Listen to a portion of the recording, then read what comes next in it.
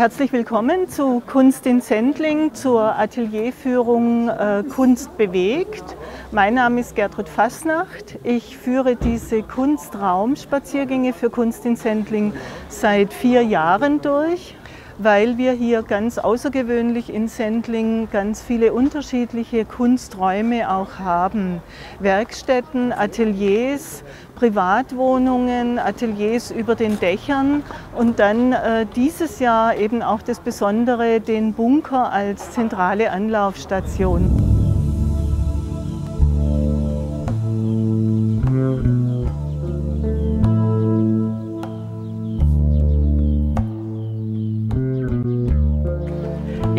Dem Hochbunker aus dem Zweiten Weltkrieg, den wir dieses Jahr als Veranstaltungsort nutzen werden für Kunst in Sendling. Er ist ein bisschen duster, er ist vorbelastet, keine Frage, aber da denke ich mir, was kann so ein Bauwerk dafür? Wie man sieht, wird er gerade für, für hochinteressante Fotoaufnahmen benutzt. Es wurde auch schon ein Film hier gedreht.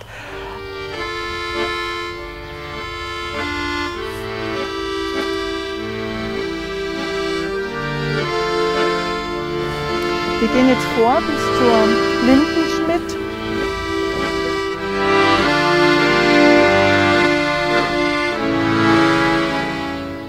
Einer der schönsten Plätze auch in Sendling ist für mich der alte Sendlinger Kirchplatz. Und äh, da kann man dazu sagen, dass, dass, es dem, dass es da dem Engagement von Sendlingern zu verdanken ist, dass dieser zauberhafte Platz nicht zum Parkplatz umfunktioniert wurde. Also das Atelier von der Christiane Demenat ist eines der wenigen Bildhauerateliers in München und das einzige, in dem Stein gehauen wird. Wir haben hier einen Ort der Schöpferkraft. Also die Frauen, die da drin arbeiten, die sagen, es ist ihr schöpferisches Wohnzimmer. Da möchte man sich natürlich dann auch mal gerne auf die Couch setzen und mitmachen. Ja, und hier wird viel gebildhauert.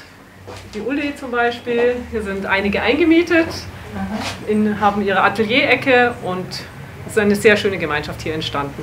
Und hinten sehen Sie dann auch noch die anderen Ausstellungen. Früher war das eine Metzgerei, wo nach vorne der Ladenraum oder was auch immer oder der, die Werkstatt war und hinten äh, wahrscheinlich auch die Wohnräume. Da haben die Leute dann auch immer gewohnt. Also so diese Struktur von Räumen, die zieht sich durch Sendling und ist auch immer wieder, also ich sage immer Sendling ein Viertel im Wandel, weil diese ganzen Orte sind heute hauptsächlich Kunstorte haben die ganzen Künstler belegt.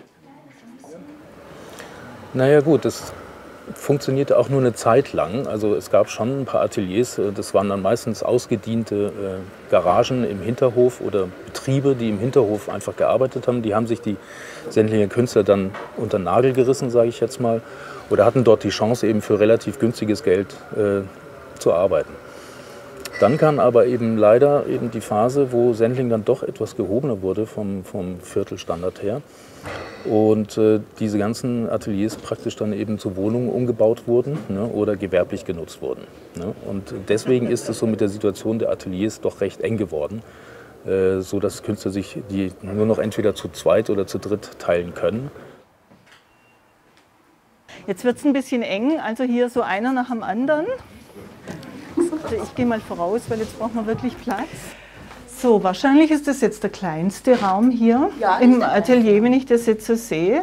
Genau, und da möchte ich euch die Künstlerin Anne Brender vorstellen, die ich jetzt für dieses Jahr für den Rundgang oder für den Besuch hier ausgewählt hat. Und zwar hat mich äh, bei der Auswahl das angesprochen, dass dass wir hier Fühlobjekte haben. Also das heißt, jeder, der, jeder darf hier anfassen und auch die Hand reinstecken. Das ist eine Überraschung. Ja. da hat auch was drin. Das, manchmal braucht es auch Mut, irgendwo reinzufassen, wo man nicht weiß, was da drin ist. Ne? Genau. Es könnte ja auch eine Schlange sein, die da hervorschnellt. Ja. bin ich bei der, beim Erwachsenensein. Nein, da bist du jetzt bei der Mitte des Lebens. Bei der Mitte des Lebens. Und hier bin ich. Äh, da bist du in der Pubertät hier. Ja, da bin ich fast richtig. Ja. Und hier bin ich in der Kindheit. Ja, genau. Ja, das fühlt sich, das fühlt sich sehr spielerisch an, ja. Das ist Leichtigkeit, gell? Leichtigkeit, ja. Die Leichtigkeit des Seins oder des Nichtseins, ja. Ist das wichtig für eure Arbeit, dass ihr euch mal auf diese Art und Weise präsentieren könnt? Also für mich ist immer ein Ziel, eigentlich mitzumachen und auch das Jahr über Sachen zu gestalten, die ich dann präsentieren kann. Das macht mir sehr viel Freude, auch da ein Ziel zu haben. Das ist jetzt für mich wichtig. Und das ist auch für die Leute ein Angebot, dass sie rumlaufen können, in den Atelier schauen und sehen, was da gemacht wird. Ja. Und es kostet keinen Eintritt und die Leute jetzt faszinieren. Ja. So Rundschau, ja, was ist eigentlich Kunst, was ist hier in unserem Viertel und so weiter, dass den Leuten auch bewusst wird, dass es Künstlerateliers gibt, ja, dass hier auch andere Dinge gemacht werden, nicht nur so alltäglich arbeiten. Ja. Und wir dürfen bis 9 Uhr abends klopfen, machen zwar eine kurze Mittagspause, Sonntag auch Ruhe, aber sonst ist es wirklich einmalig, glaube ich. Also nicht nur in Sendling, sondern glaube ich auch in München.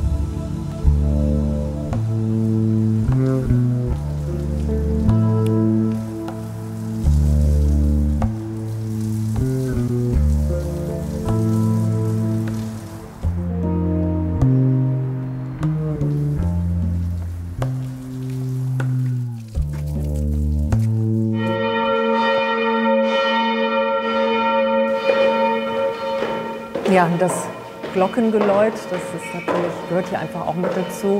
Ich weiß ungefähr, wann die läuten und äh, das gehört für mich absolut dazu. Das hat für mich eher was, was Erhabenes, was Besonderes. Hier unten ist es äh, in dieser Etage auch nicht zu laut. Eine Etage höher, da wird es dann schon natürlich lauter und weiter nach oben sollte man dann natürlich nicht gehen. Das ist dann nicht mehr ganz gesund für die Ohren. Der Ort äh, gibt mir viel Inspiration, weil wenn ich die Tür aufmache, den Balkon, dann, dann kriege ich auch von draußen ganz viel mit von Sendling im Prinzip, was sich hier so abspielt.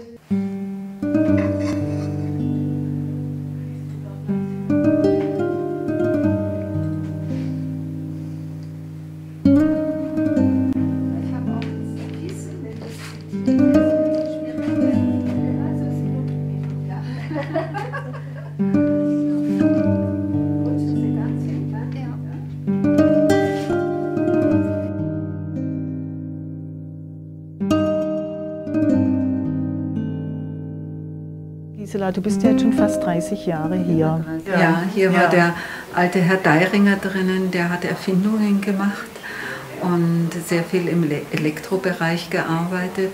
Und das merkt man einfach, dass hier immer handwerklich gearbeitet wurde. Und äh, das kommt mir natürlich zugute. Ja, aha. Und die äh, Vermieterin war auch sehr froh, dass hier wieder was Künstlerisches reinkam. ja. Und so aufgeräumt, wie es jetzt ist, ist es selten. Das heißt auch, also wenn ich das jetzt auf die, äh, auf die eigene Schöpferkraft bringe, dass es, wenn wir der näher kommen wollen, also unserer eigenen Schöpferkraft, dass es ganz wichtig ist, uns da auch den entsprechenden Raum dafür zu schaffen ja, und zu gestalten. Also das kann in jedem Raum sein, nur er braucht eben diese Ja, Man muss sich selber wirklich in den Raum in einrichten. einrichten und selber auch ausschütten in den Raum. Ja, ne? ja.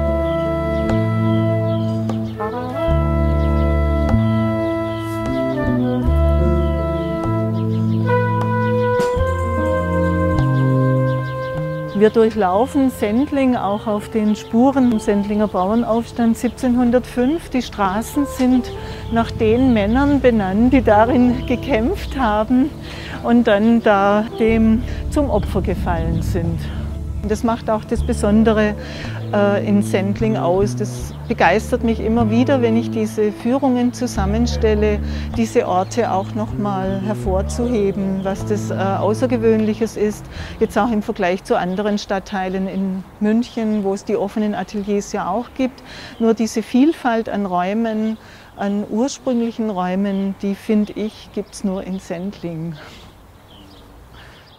Es war früher eine Werkstatt, ist dann leergeräumt worden und äh, wahrscheinlich auch so einzigartig, also so ein freies, wo sonst nichts drumherum ist, so ein Atelier auch zu haben. Also Margit Memminger, die Künstlerin, die hier seit wie vielen Jahren hast du das Atelier jetzt? Ich glaube drei Jahre. Seit drei Jahren. Genau, und du bist da ganz glücklich damit. Ich habe gerade von deinem Dachgarten gesprochen. Ja, der ist traumhaft. Die Vermieterin, ganz eine nette, hat ja alles ganz schön gemacht mit ihrem Garten. Ja. Ich darf da unten Kunst machen. Das ist natürlich super, wenn man es nicht so oft hat. Ja. In München, dass jemand Künstler aha. duldet. Ja, genau. Aha.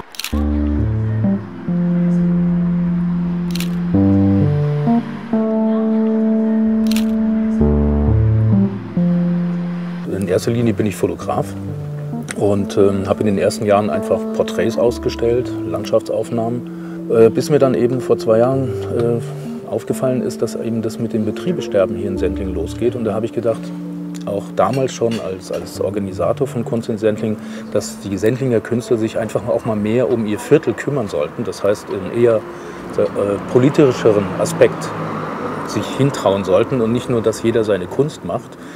Äh, das kam damals, als ich das vorgeschlagen hatte, nicht so gut an und ähm, deswegen habe ich mir gedacht, ähm, arbeite ich seit zwei Jahren praktisch an diesem Thema, verlorene Betriebe, was sich aber eben auch nicht auf Sendling begrenzen lässt, sondern das betrifft die gesamte Stadt. Den letzten Schmied Sendlings, den habe ich letztes Jahr noch schnell fotografieren können, bevor er aus seiner Werkstatt, die eigentlich schon seit 100 Jahren dort stand und auch niemanden gestört hat, äh, gekündigt wurde. Und jetzt ist er, wie sehr viele Sendlinger Betriebe, eben aufs Land gegangen oder in Gewerbehöfe verdrängt worden.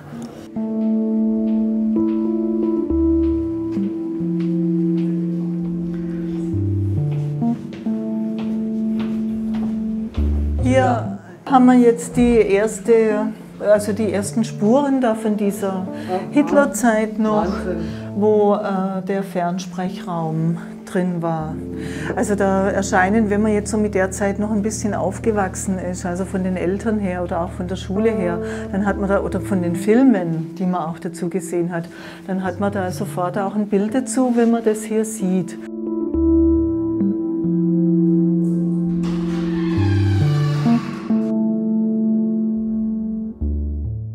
Dich schon vorgestellt als die Fotografin mit Sendlinger Fassaden. Deine Motivation, also dieses Motiv zu wählen für Kunst in Sendling, war, Fassade zu zeigen. Das ist auch jetzt in Verbindung mit Kunst in Sendling sehr interessant, weil die Leute teilweise auch da wohnen und sagen, ah, da wohne ich und so. Und das macht es auch für mich äh, persönlicher, wenn ich das fotografiere, wenn ich hier lebe. Also ihr könnt ja auch in der Innenstadt genauso auch Fassadendetails fotografieren, aber ich habe einen anderen Bezug dazu. Ja. Aha. Weil es meine Heimat ist sozusagen. Ja.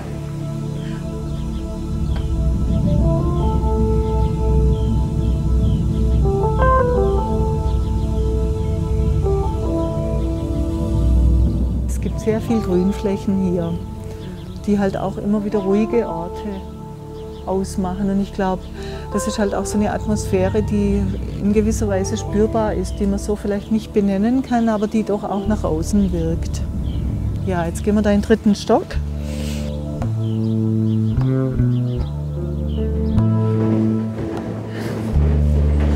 Hallo? Ja. Grüß Gott. Ein neuer Raum, ein anderer Raum, den wir hier betreten. Wird auch nicht vermutet, wenn man so da durch die Straßen läuft, durch den idyllischen Hinterhof und dann öffnet sich hier nochmal eine ganz neue, eine ganz andere Welt. Bis Barock ähm, ist zusammengesetzt aus oder abbreviativ aus äh, Byzantium, äh, also Byzanz, und Barock, also Barock und äh, kennzeichne die beiden ähm, Grundentwicklungsstränge meiner künstlerischen Arbeit, äh, auf die ich mich ideell beziehe, nämlich äh, eine, äh, eine, sagen wir, strengere und geheimnisvollere Quelle, ähm, die zu, zu, tun hat mit Antike, mit eurasischer Kultur, Mittelalter, Byzanz. Und äh, eine andere Seite, eine heitere, ähm, äh, plastischer pulsierende, ähm, äh, luxuriöse, fröhliche Barock- und Rokoko-Seite. Ja? Ähm, das sind zwei Grundelemente eben auch meines Lebens. Ich fantasiere mich hier ein wenig hinein in einen äh, Pavillon. Mhm. In meiner Wohnung. Äh, durch die äh, grün, grüne Außensicht ist es auch, äh, grüne Sicht nach außen ist das ja auch, äh, wird dazu verführt und äh, habe das dann auch ein bisschen so ausgestattet wie äh, so äh, eben ein äh, adeliges Retreat aus dem 18. Jahrhundert. Ja? Äh, ich selber werde bei dieser, möchte bei dieser Formensprache bleiben, auch wenn ich äh, da politisch restaurative Konnotationen nicht habe das Auge muss erstmal so viel erfassen und, und, und bleibt an gewissen Gegenständen hängen. Und, und, also ich kann das jetzt noch gar nicht alles fassen, weil es einfach, einfach so viel ist. Also ich habe gleich erkannt, das und das, das, das finde ich unheimlich schön, aber dass jetzt das gleich alles weiß, was diese Installation Sie macht mich ein bisschen sprachlos sogar. Ja. Aha. ja. Mhm. ja also es ist wie wenn man irgendein Land reist und dann auf einmal so viele Sehenswürdigkeiten sieht und dann eigentlich gar nichts mehr aufnehmen kann.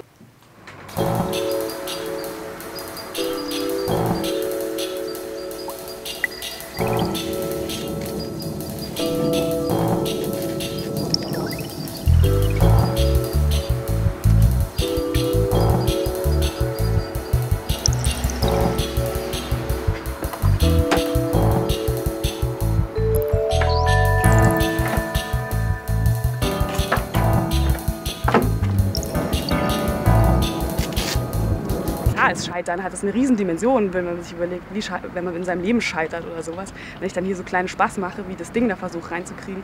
Aber trotzdem, irgendwie, es kommt eigentlich ganz gut an und eher erleichternd, ja? dass man sagt, es ist schön, dass man sich mit diesem Thema, dass man es nicht tabuisiert, sondern sagt, hey, es gehört irgendwie dazu und zwar täglich.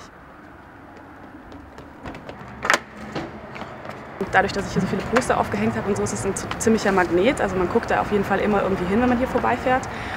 Und meine Erfahrungen waren eigentlich fast durchweg irgendwie positiv, also dass die Leute auf dieses Thema einfach angesprungen sind und mir dann erzählt haben, also von ihrem Scheitern oder man, oder man fragte sich dann, was ist denn überhaupt Scheitern? Also eigentlich ging fast jedes Mal, auch nach meinen Performances, wenn die Leute noch da geblieben sind, ging es eigentlich meistens darum, was heißt denn das überhaupt Scheitern?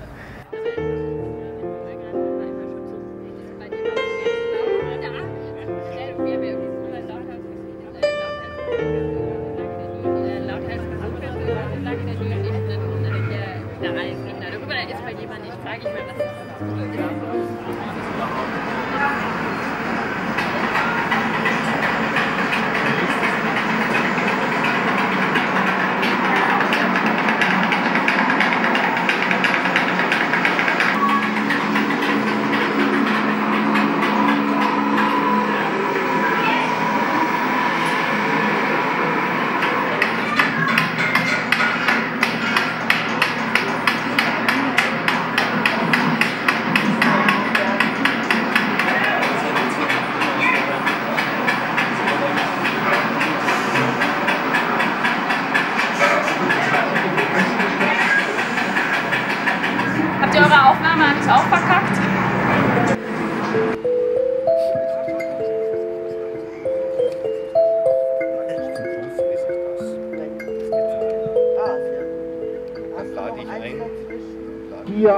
Ecke, wo es um Konsum geht, wo jeder noch halb sein Portemonnaie in der Hand hat. Hier erscheint Kunst. Gibt es heute Kunst in Sendling. Kauft, Leute, kauft schwarzes Öl und Öle, duftend für die Haut. Hier ein Mieder, nur nicht bieder, doch kommt wieder, hört die Lieder.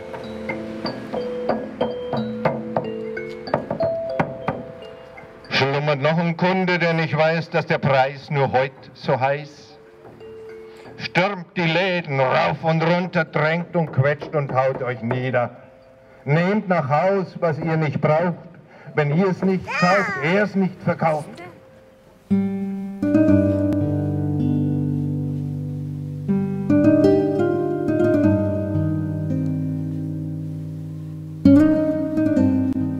Wohne seit 29 Jahren in München-Sendling, ähm, habe vorher in, in Starnberg gewohnt, habe in München studiert Und äh, habe dann aber gemerkt, okay, Starnberg ist immer ein bisschen während des Studiums hin und her fahren.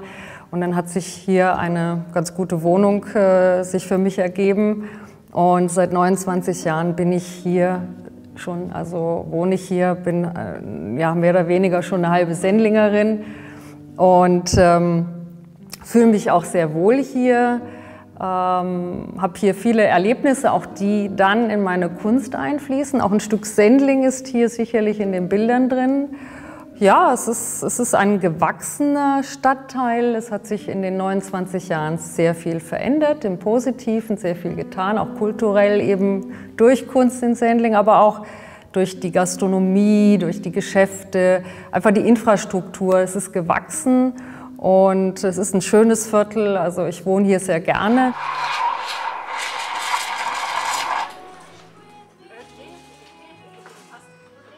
Viele kennen überhaupt nichts aus München. Da kommen Leute hier aus, aus Heidhaus oder Schwaben, sie sind auch sehr, sehr begeistert. Bei Sendling war bis vor ein paar Jahren ein Tabu, wollte niemand hierher kommen. Wie sagt man, das war ein Arbeitsviertel und bis vor fast 20 Jahren, kann man so sagen. Und äh, wir haben diese Viertel entdeckt und total verliebt. Das war eine Liebe auf, auf den ersten Blick überhaupt. Und damals, unsere Wohnung zum Beispiel, wo wir wohnen, war zehn Jahre leer. Niemand wollte hier kommen. Dann wir haben eine wunderschöne Altbauwohnung. Der Mann, der dort geboren ist, ist dort gestorben. Und danach noch zehn Jahre leer geblieben. Und heute findet man keinen Platz mehr in unserer Viertel. Hallo Rachel. Hallo, grüß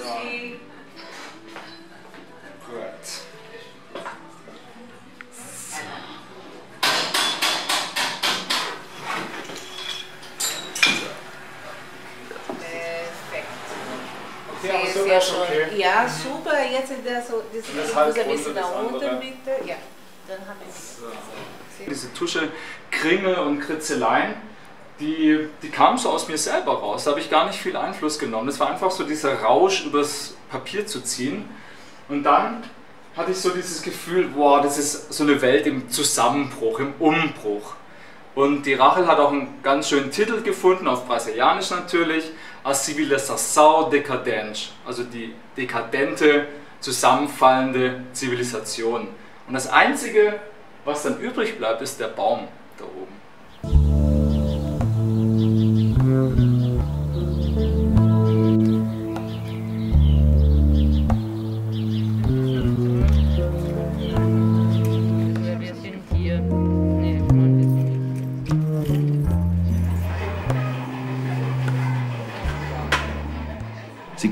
Bunker noch aus Ihrer Kindheit. Haben Sie jemals einen Bombenangriff hier erlebt? Natürlich sind, da sind, wir, sind wir mit der Kleidung ins Bett gegangen. Äh, und dann kam der Fliegeralarm, da mussten wir raus, in den Keller runter. Und dann hat es gekracht und ich rieche das heute noch, wie dieser Staub da gerieselt ist. Also es ist eigentlich nur noch Neugierde, was ist jetzt. Wie gesagt, ich würde es wirklich äh, gut finden, wenn man da eine sinnvolle Verwendung für dieses Gebäude da findet.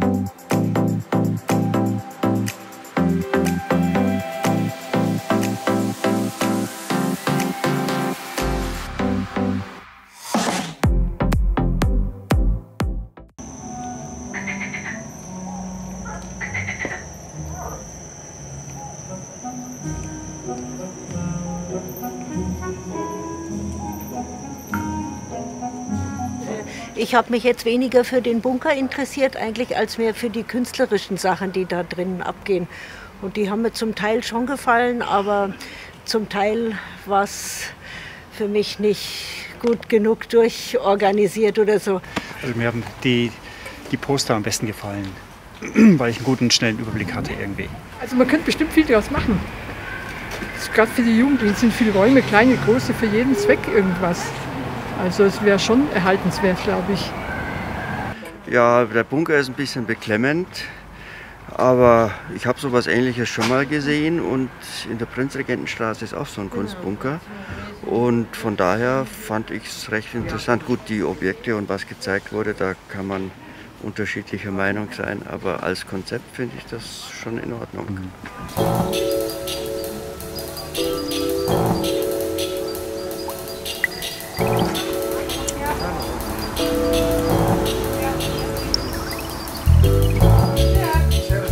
Also ich fühle mich total wohl hier. Ähm, wir haben eigentlich, es ist wie eine ganz große Familie. Also man kommt hier rein und das finde ich das Schöne. Man kommt in den Stämmerhof, man begrüßt jeden, man trinkt hier einen Kaffee, da einen Kaffee. Man kennt die Leute und man kennt inzwischen auch alle Leute, die hierher kommen. Und so ist es sehr familiär und das finde ich wahnsinnig toll hier. Ich leite seit vier Jahren die Malschule hier im Stämmerhof. Ich bin Kunstpädagogin und habe mich ähm, spezialisiert auf Mappenvorbereitungskurse um Leute an die Hochschulen zu bringen für alle Studiengänge, bei denen eine Mappe benötigt wird. Was ich halt hier am Stermehof sehr spannend finde, das ist ja ein alter Bauernhof und ich glaube, das zieht schon auch viele hier in den Hof rein, dass man einfach mal guckt, was ist aus den alten Gebäuden geworden. Grundsätzlich finde ich es toll, was für ein gemischtes Publikum kommt bei Kunst in Sendling. Also von ob jung oder alt. Es gibt immer viele Leute, mit denen man über die Sachen auch reden kann. Klar, die interessieren sich auch für die Malschule, man kommt ins Gespräch und das finde ich immer ganz toll und ganz erfrischend.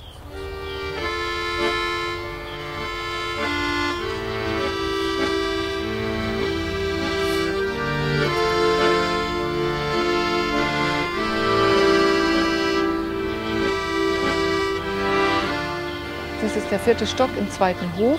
Und wenn es mal brennen sollte, dann kann man da aus dem Fenster klettern und hier über den langen Steg, übers Dach ins Vorderhaus gelangen und durch das Treppenhaus im Vorderhaus ähm, sich vor dem Feuer retten. Wenn es nicht brennt, dann nütze ich hier diesen schönen Platz zum Entspannen. Dann gucke ich mal in den Himmel, schaue mir das Wetter an, schaue mir die Kirchtürme an und genieße einfach diese schöne Atmosphäre, wo man wirklich frei ist und in Ruhe arbeiten kann.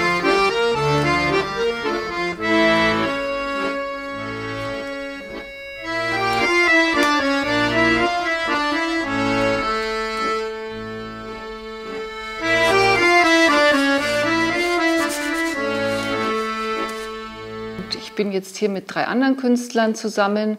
Wir haben eine Vierer-Ateliergemeinschaft auf 180 Quadratmetern und eigentlich klappt das ganz gut hier. Und ähm, die Leute, die hier reinkommen, sagen alle immer, das wäre so eine schöne Atmosphäre. Also mir geht es auch so, es ist sehr ruhig hier. Ab und zu hört man mal die Glocke von der Sendlinger Kirche. Dann weiß man, was die Stunde geschlagen hat. Aber im Großen und Ganzen ist man hier ungestört.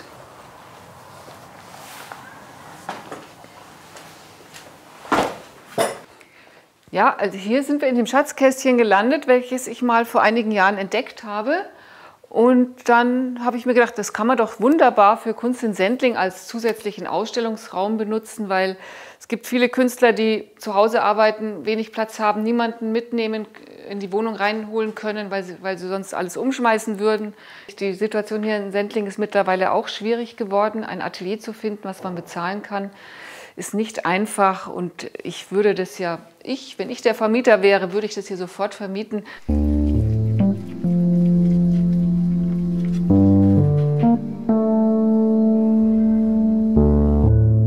Ich meine, wir haben in Sendling fast keine Ateliers und die, die kosten, also letztens wurde uns angeboten, ich glaube, was weiß ich, 20 Quadratmeter, so irgendwas 470 Euro. Das ist irre. Ich habe diesen Raum hier, also werde ich den benutzen, sonst ist die Wohnung den ganzen Tag leer. Das ist ja verrückt.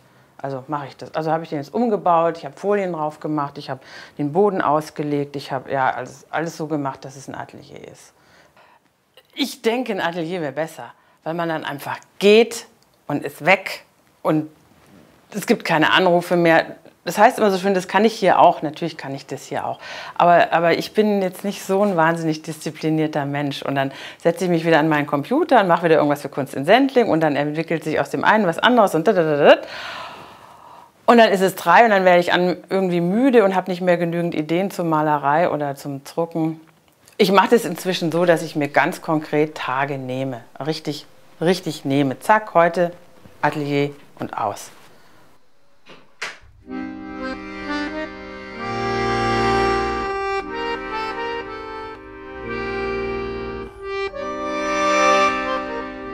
Der Fruchthof ist sehr aufwendig restauriert worden vor einigen Jahren und ähm, also ein, ein ganz schönes Ensemble auch wieder von Häusern oder von Innenhöfen. Heute wird der Fruchthof auch von äh, Kreativen genutzt, also das heißt Künstlerateliers, Werbeagenturen und so weiter sind in diesen Räumen jetzt beheimatet.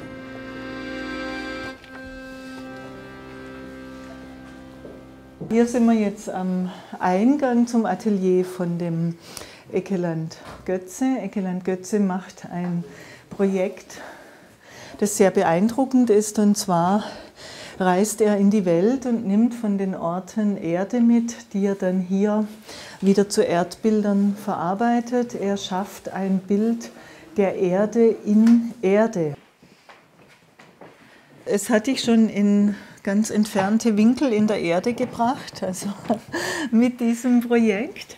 Und wann fing das an? Es fing in München an, hast du mir genau, erzählt. 1989. Das Datum kenne ich jetzt nicht so genau, aber 1989 hatte ich die Idee. Mhm. Ja. Ein Blitz aus heiterem Himmel. Ja. Ich war gerade mit dem Auto unterwegs und äh, und da kam mir die Idee, doch Erde zu nehmen und zu drucken. Da war ich gerade am Haus der Kunst, bin auf den Parkplatz gefahren, habe im englischen Garten Erde genommen, nach Hause getragen, präpariert, gedruckt und habe seitdem nie wieder gemalt. Jedes dieser Bilder hat eine Nummer, und zwar ist das die Fundstellennummer. Die ist fortlaufend nummeriert. Damals Eng München, englischer Garten Nummer 1. Ja. Die letzte ist die 775, das ist der Gipfel des Fujisan. Mhm. Also das heißt, du warst an 775 Orten mittlerweile. Ja. Ah ja. Aha. Und ähm, da gibt es ja so klangvolle Namen auch wie Eisfeuer, das heißt äh, die Erde Islands, die du da mitgebracht hast. Dann Songlines äh, Australien, die Aborigines, die dir da wahrscheinlich erlaubt haben. Manche, nie alle. Manche, nicht alle, ja, was ja auch verständlich ist, weil diese Völker, diese Urvölker ja immer ausgebeutet wurden oder missbraucht wurden. Äh, dann gibt es äh, den Todesstreifen auch. Du warst an der Berliner Mauer. Auf den Todesstreifen, ja, bin ich ja. reingeklettert. Ja, da bist du reingeklettert zu einer Zeit, wo die Mauer noch stand. Ja. Und die sind vier Reisfelder. Da müsste ich jetzt hinten drauf gucken, woher die sind. Die habe ich nie im Kopf. Ja. Und Aha. das rechte, das gelbe. Also vier unterschiedliche Reisfelder. Ja, ja, das sind vier Mhm. unterschiedliche Reisfelder. Ja. Und das rechts unten ist das gelbe, was dort auch in der Mitte ist. Das ist vom Ontakesan. Das ist ein heiliger Berg, zweithöchster Vulkan Japans. Und das habe ich ein, ein, einfach als, als Pendant zu den Reis, Reis, die Alltäglichkeit, das erdgebundene Leben. Mhm. Und die Bergspitze als das geistige, Ja. flüchtige. Äh,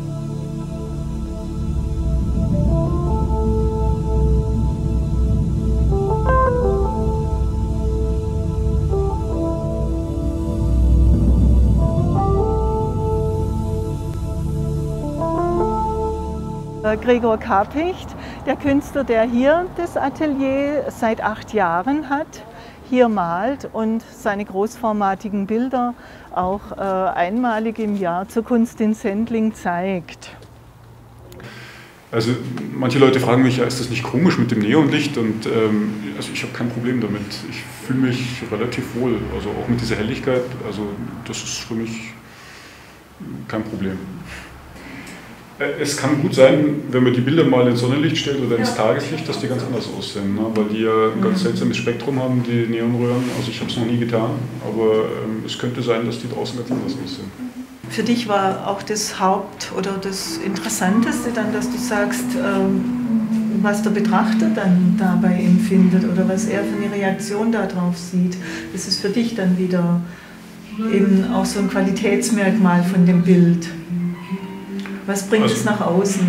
Also ich bin erstaunt, also wenn ich dann zwei Tage hier sitze und äh, mitkriege, äh, wenn die Leute auch über die Bilder sprechen, äh, wie unterschiedlich das ist, was die Leute da drin sehen. Also auch, ähm, da kommen Vorstellungen, auf die ich nie gekommen wäre. Und ähm, für mich ist es halt, ähm, also ich habe das Gefühl, dass, das, dass bei dem Bild was funktioniert hat, wenn jemand halt einfach ähm, länger stehen bleibt oder vielleicht auch nochmal darauf äh, zurückkommt. Ne? Also guckt und dann nochmal woanders hinschaut und dann nochmal genauer guckt. Und also dass irgendwie irgendwas passiert, also einfach zwischen dem, der es anschaut und dem, was zu sehen ist.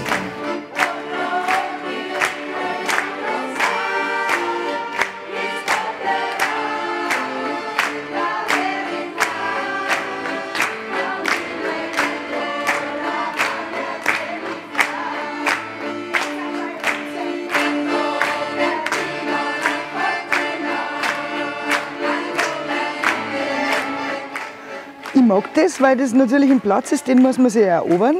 Also das ist nichts vorgestanzt. Wenn man auf eine Bühne geht, da weiß man, da sitzen die Leute, da sitzen wir. Da ist einfach, da muss man sich bewegen, da muss man kreativ werden, auch mit dem, wie man mit dem Ort umgeht. Und auch die, die dort sind. Die müssen sich auch überlegen, wo sie sich hinstellen. Ist nicht alles schon von vornherein klar.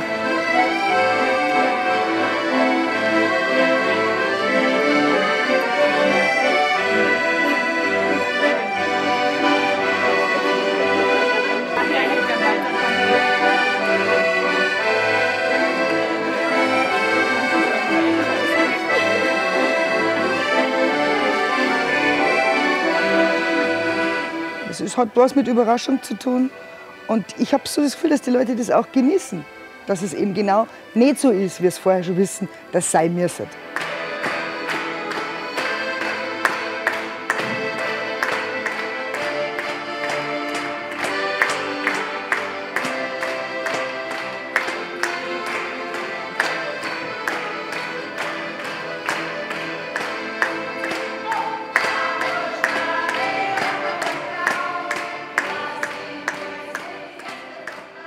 Finde es einfach spannend, wenn man da in den Keller runtergeht und da in den Keller runter oder da rauf oder da hinschaut und sie denkt, okay, das, sind, das passiert hinter den Wänden. Ich jetzt einfach eine Kaperfrisur. Ja, und dann geht es natürlich jetzt eher, dass man auf diesen Berg.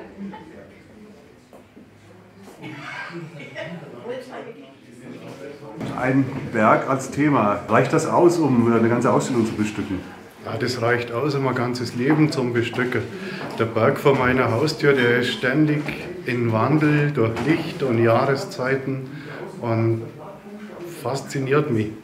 Und wie ihr seht, kann man nicht bloß Fotos machen, sondern das Leben und die Gefühle können sich dann in Bilder verwandeln.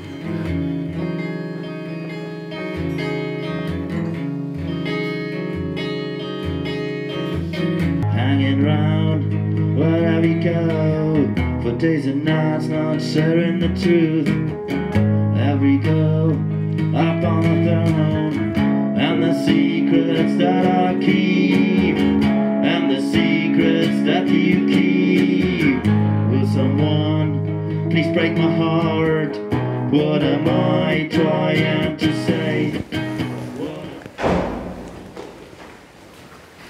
es hier noch einen geheimen Ort zu besichtigen. Das geht über die Dächer von Sendling. Aber wo das genau ist, möchte ich nicht verraten. Äh, bitte kommen Sie mit. Auf eigene Verantwortung geht es jetzt hier rüber. Folgen Sie mir.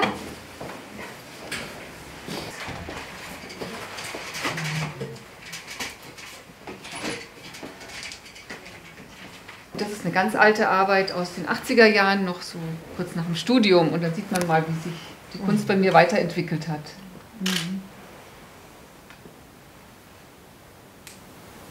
Sehr schön. Time to get a drink. Just a little drink.